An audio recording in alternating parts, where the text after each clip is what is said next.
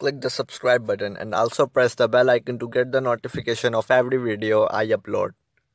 Hello friends, this is iDroid Inc Creation. In this video, I will talk about Huawei P10 and P10 Plus. So let's watch.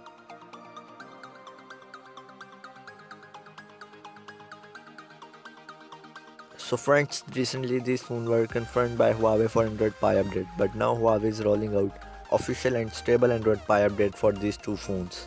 The update is available for global variant devices. The Android 9.0 Pie comes with EMUI 9.0, offers a highly improved user experience. This performs 12.9% faster than its predecessors. In addition to that, it sports faster application launch speed. One of the interesting features included in this update is the all-new Digital Balance app.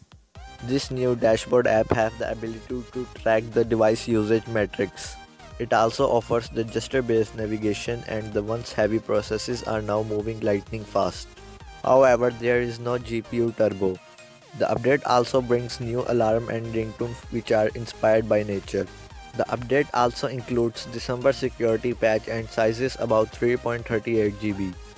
To download the new Android Pie update, simply go to settings, then system update and then check for update. So friends, this is the latest news. I hope you will like the video. So subscribe the channel, like and share the video. Peace out.